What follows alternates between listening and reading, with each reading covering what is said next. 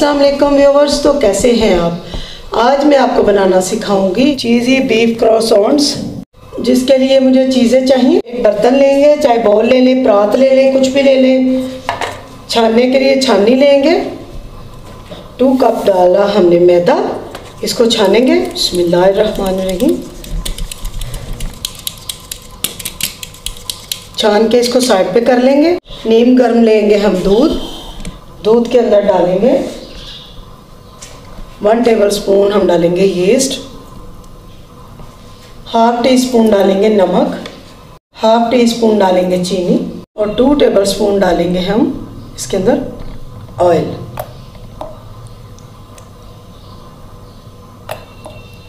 और इसको मिक्स करके छोड़ देंगे हम. राइस होने के लिए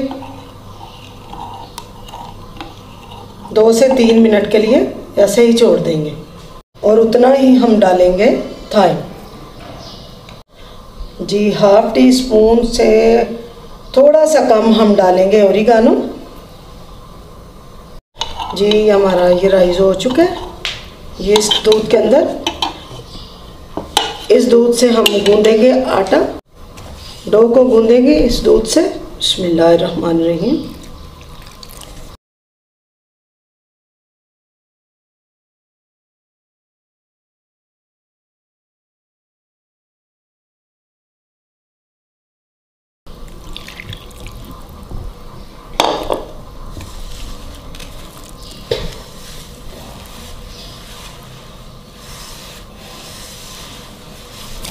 जी डो को ज़्यादा गूंदने की ज़रूरत नहीं होती, आपको मैंने पहले बताया हाथों पे ऑयल लगा के आपने इसको एक तो ऐसे मुक्की देनी है, थोड़ा सा यानी कि गूंदना है।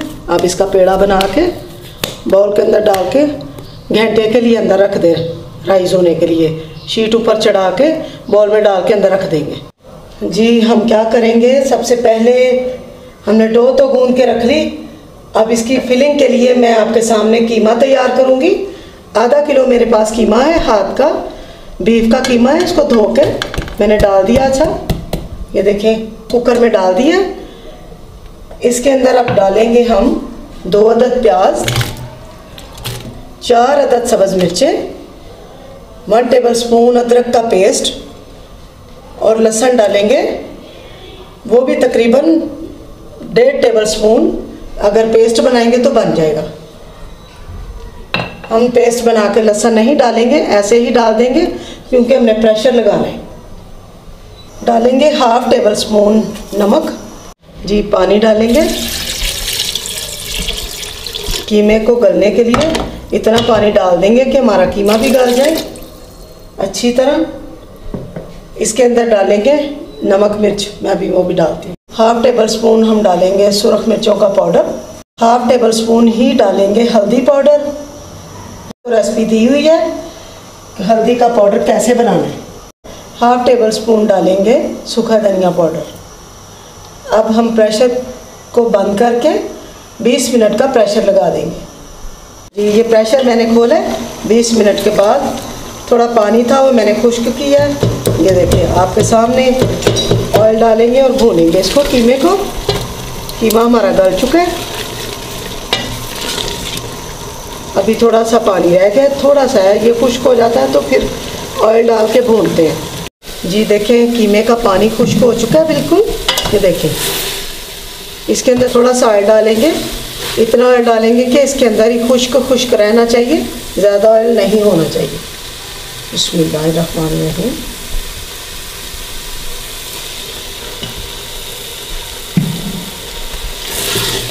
जितनी फीलिंग हमें चाहिए, उतनी मैं आपके सामने ले लूँगी।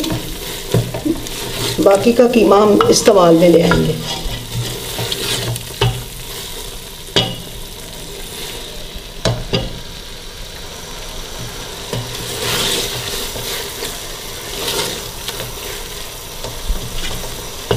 बस इसको हल्की सी आँच पे थोड़ा सा भूनने के लिए छोड़ देंगे। जी, देखिए मेरी डो राइस हो चुकी है। ये देखिए।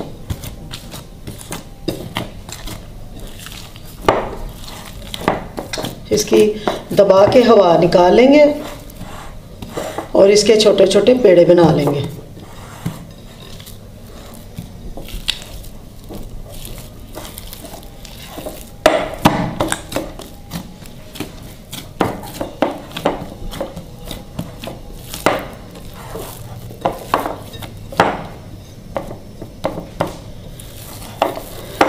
जी, ये देखिए, एक मेरा पेड़ा मैंने कर लिया आपको दिखाने के लिए दूसरा मैंने पकड़ा है। ये देखिए, इस तरह से। सारे मैं इसके पेड़े बना लूँगी। जी, पेड़े सारे मैंने कर लिए एक मैंने ये देखिए, बेलने के ऊपर रख दिया, इसको बेलेंगे। बेल बेल के आपके सामने ऑयल लगाती जाऊँगी, आप देखिए।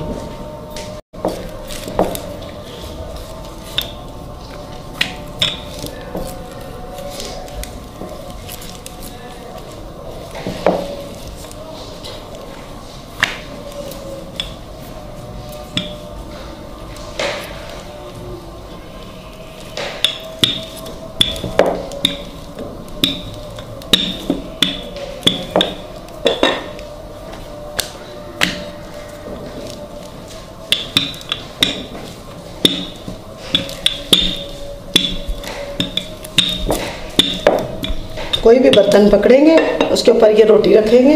ये कोई भी बर्तन लेंगे, क्या करेंगे, नीचे थोड़ा मैदा डस्ट कर देंगे। मैदा डस्ट करने के बाद ये ये जो चपाती मैंने बनाई है, इसके ऊपर रख देंगे और दूसरी बेलनी शुरू कर देंगे।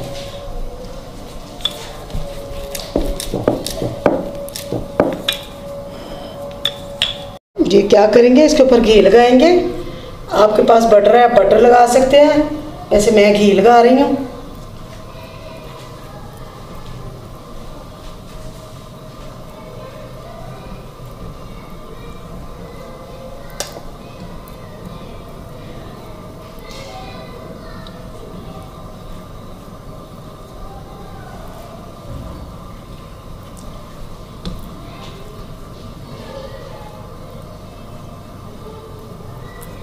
घी लगाने के बाद क्या किया? हमने कि दूसरी रोटी को उठाएँगे। इसके ऊपर ऐसे सेट कर देंगे। इसी तरह मैं सारी रोटियाँ और घी लगाती जाऊँगी और ऊपर डालती जाऊँगी। जी, ये सारी चपातियाँ हमारी तैयार हो गई हैं। लास्ट वाली थी, मैंने कहा आपको फिर से दिखा दूँ। इस तरह हमने घी लगाना।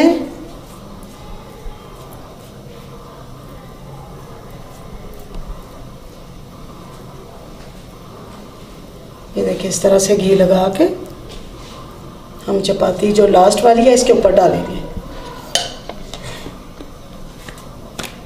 ये देखिए, इस तरह से। ये देखिए, फिर आपने इसको साथ साथ मैं दबाती जा रही थी, डालती जा रही थी और दबाती जा रही थी। आपने भी साथ साथ डालते जाना है और दबाते जाना है। अब इसको उठा के बेलेंगे। जी, बेलेंगे, उठा के इसको, ये देखिए, इस तरह थोड़ा मैदा डस्ट कर लेंगे और इसको बेलेंगे।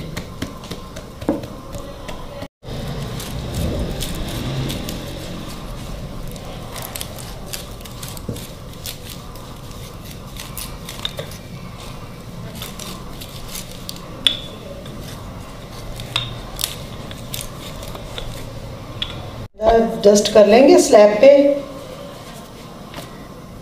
इसको इसके ऊपर रख लेंगे। थोड़ा सा मैदा ऊपर भी डस्ट कर लेंगे। और इसकी बड़ी सी रोटी बेल लेंगे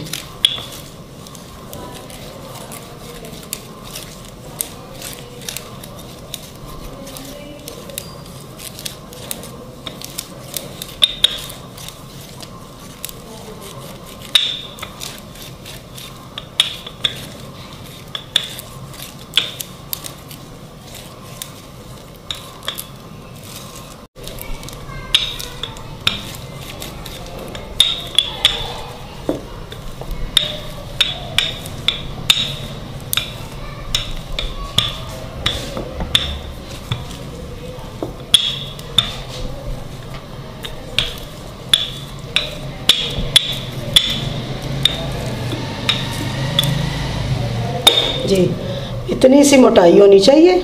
आप देख सकते हैं, इतनी मोटाई आपने रखनी है, ठीक है? जी, क्या करेंगे? इसको कटिंग करेंगे। बिस्मिल्लाहिर्रहमानिर्रहीम।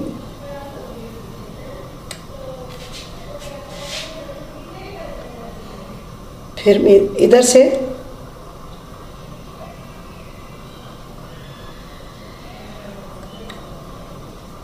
फिर हम इधर से करेंगे।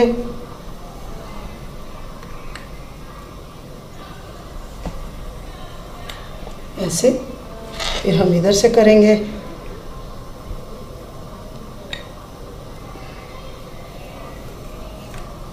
फिर हम इधर से करेंगे।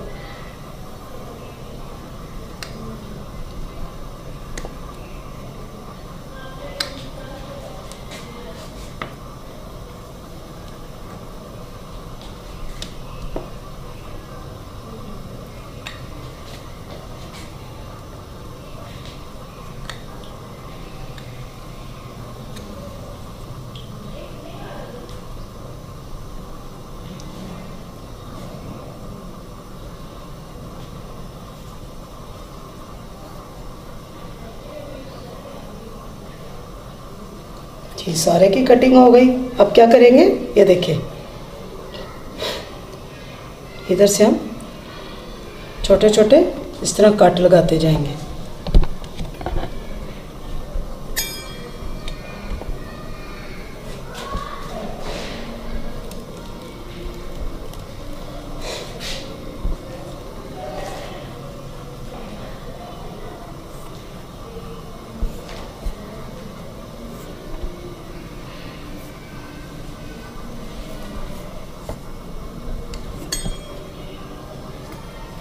जी, सबके कट लग गए। अब आपके सामने फिलिंग करते हैं। कीमा जो आपके सामने तैयार किया है, वो थोड़ा सा इसके अंदर हम डालेंगे कीमा।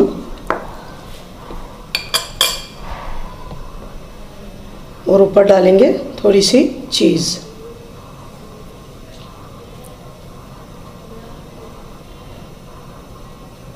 पकड़ेंगे?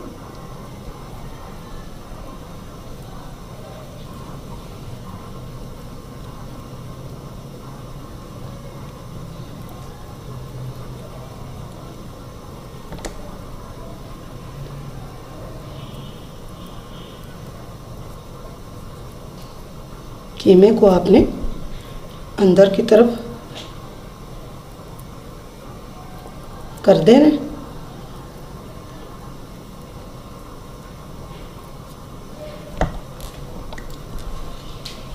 जी, ये देखिए, इस तरह कीमा रखेंगे। थोड़ी सी हम रखेंगे चीज़ ऐसे। ये जो हमने कटिंग की है, इधर से पकड़ के थोड़ा सा ऐसे प्रेस करेंगे, अंदर की जानिब दबा देंगे और इसको ऐसे रोल करते जाएँगे।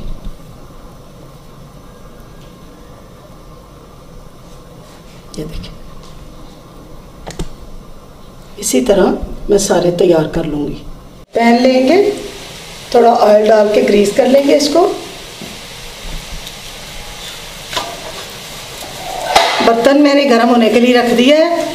पंद्रह से बीस मिनट पहले मैंने बर्तन होने गर्म होने के लिए रख दिया है।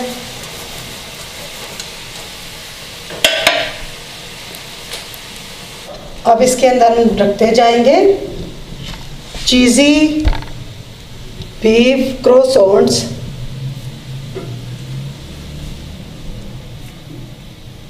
बहुत ही मेरे मज़े के मेरे स्टाइल के बना के ज़रूर देखना। इन आपको मज़ा आएगा। इनको बेक करेंगे 20 से 25 मिनट के लिए।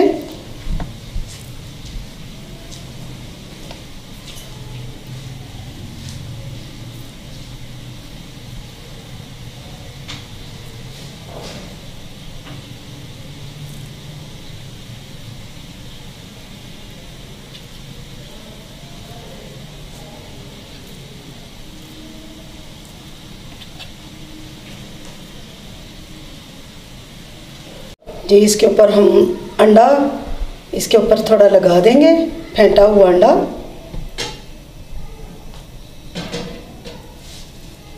क्योंकि हमने पतीले में बेक करने हैं ओवन में नहीं कर रहे।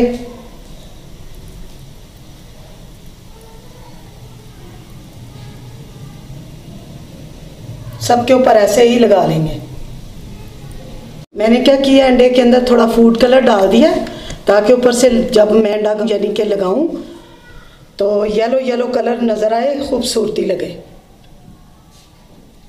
ये देखिए कितना खूबसूरत हो गया।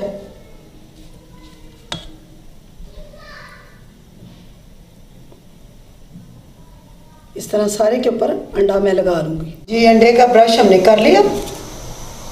ये अब डालेंगे तिल। ये देखें तिल डस्ट करेंगे इसके ऊपर। ज़रा। जी अब हम पैन के अंदर रखेंगे। बर्तन मैंने गरम रखा था होने के लिए 15 से 20 मिनट पहले। अब इसको रखेंगे 20 मिनट के बाद इसको देखेंगे। जी, बर्तन हमारा गर्म हो चुके उसके अंदर हम रखेंगे। इसके अंदर हमने रखे हैं क्रोसॉन्स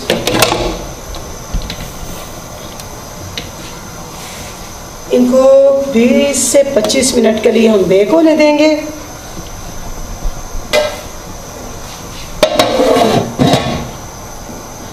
आँच जो हमने है नॉर्मल रखनी है ना ज़्यादा, तेज़ हो ना कम हो। जी, ये देखें, नीचे से बेक हो चुका है, कितना प्यारा कलर आ गया। इन सब की मैं ऐसे साइड चेंज कर दूँगी। ये देखें, इस तरह से, ये देखें, बहुत गर्म है। एक एक करके,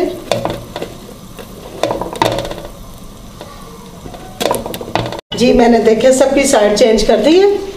अब नीचे से भी थोड़े इस तरह के कलर आता है तो फिर इसको निकाल लेंगे। पैन को बाहर निकालेंगे, सांचे को पैन के अंदर से। तैयार हो गए हमारे। देखिए कितने खूबसूरत हैं, नीचे से भी पक चुके हैं। कितना प्यारा कलर आया है, ऊपर से भी पके हैं। मेरे मज़े के चीज़ी बीफ क्रॉसॉन्स, ये देखें, इस तरीके के बनाएँ। चाय के साथ खाएँ कोल्ड ड्रिंक्स के साथ खाएँ पार्टीज़ में बनाएँ, घर में बनाएँ, बच्चों को बना के दें।